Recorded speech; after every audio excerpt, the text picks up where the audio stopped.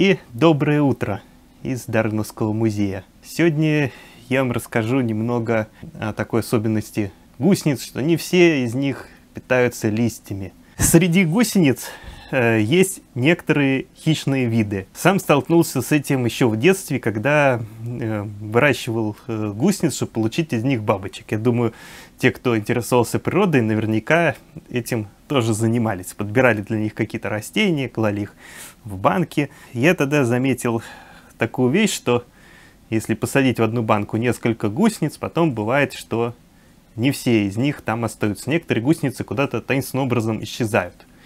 Я думал, что они у меня сбегают.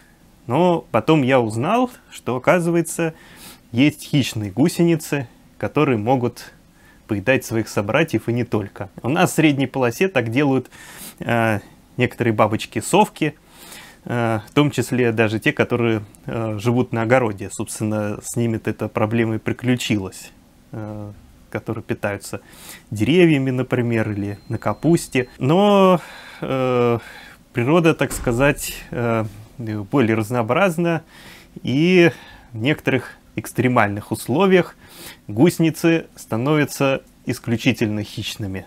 И так произошло на Гавайях. Это очень изолированный архипелаг, на котором до прихода человека было очень много разных невероятных животных. Сейчас некоторые из них сохранились, особенно это касается э, таких э, небольших животных, как насекомые. Так вот, там существуют э, гусеницы, которые активно охотятся. Относятся они к семейству пяденицы. То есть пяденица от слова пять. То есть это э, те гусеницы, которые э, передвигаются как бы такими э, э, шажками. Э, вот, собственно, вот это вот пять. Наверняка вы это э, видели, встречали. Такая гусеница э, похожа на веточку. Она может э, сидеть и неподвижно долгое время, при этом передняя ее часть э, тела, как раз э, с головой, с лапками, э, они очень удобно подходят для того, чтобы хватать того, кто э, пролетает мимо. Изображает веточку в каком-то э, месте открытом, потому что есть э, ну, вот, э, заросли, какая-то крона или что-то, и там есть некоторые коридоры, через которые насекомые часто летают.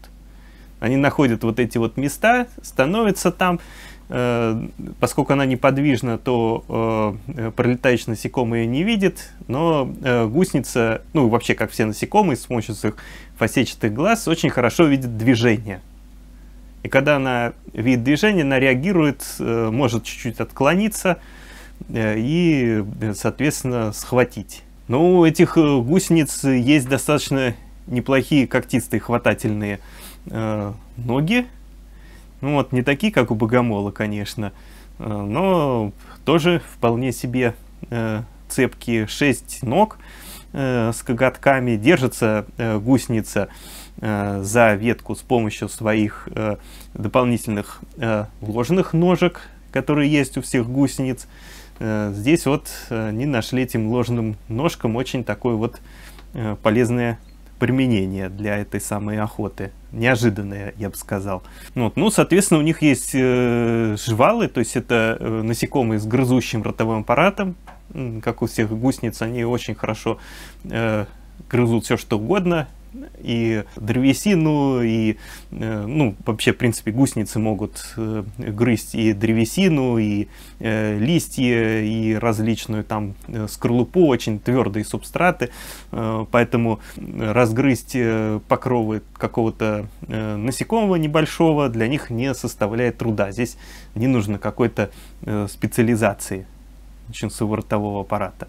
Скорее тут э, э, более интересна их э, перестройка физиологии, потому что перестройка с растительной пищи на такую животную пищу, она требует изменений именно на биохимическом уровне, составе гемолимфы чтобы это необходимо для того, чтобы проходили нервные импульсы. Принципиальная разница есть у хищных растительноядных насекомых, как это происходит. Хотя у нас э, в средней полосе эти гусеницы растительноядны, но вот э, на Гавайях они э, научились хватать пролетающих мимо себя насекомых и съедать их. Без этого развитие из этой гусеницы, бабочки быть невозможно. Но оказались бабочки, гусеницы которых пошли еще дальше. Там же на Гавайях очень много э, различных э, э, видов моллюсков сухопутных, наземных улиток, которые живут только на каком-то конкретном острове, в какой-то долине этого острова. Их насчитывается там сотни видов. И э, нашлись э, гусеницы, которые питаются этими самыми моллюсками. Ну, причем открыто это явление было относительно недавно. Чтобы вы себе представляли, что это за бабочка, что это за гусеница, то есть это семейство украшенной моли. От слова моль вы уже поняли, что это очень небольшое невзрачное существо.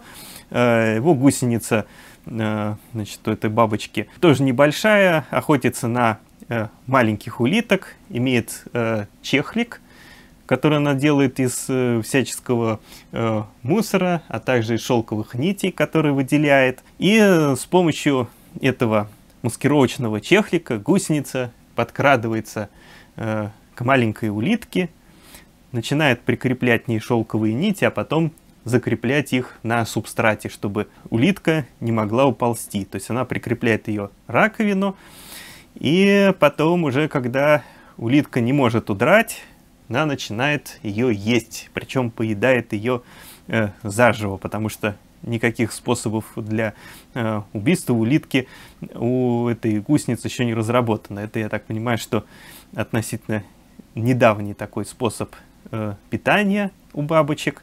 Ну, а потом из этой э, гусеницы получается, ну, такая вот средняя моль, которая летает по ночам, питается на цветах. Здесь также еще упомяну, э, что э, кроме э, хищных гусениц, бабочки могут быть плотоядные и во взрослом состоянии. Есть такой род совок, калиптра. Один из этих видов встречается и в Подмосковье. Василисниковая совка.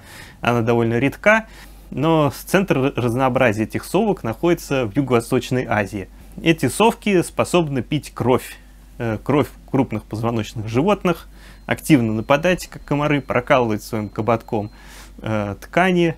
Э, у калиптора это явление известно, что он нападает и на человека. Так что Бабочки бывают и вот такие, причем и э, в наших широтах. Но обычно э, люди этого не замечают, потому что нас в первую очередь кусают э, комары. И, ну, ночью кусают комары, поэтому э, люди просто думают, ну, еще один очередной комар. Ну, что такого? Собственно, укус этот э, бабочки, он э, не смертелен, не болезнен, достаточно хорошо заживает. Вот есть такие бабочки-вампиры тоже. Вот. А разбудила вас сегодня на самом деле э, не хищная гусеница, а гусеница, на которую наоборот охотятся, но охотятся на нее не другие насекомые, а птицы, поэтому она э, издает э, звук, напоминающий э, крик испуганной синицы, от которого все остальные птицы э, прячутся, э, чтобы не попасть в лапы э, хищнику. Вот такая вот защита.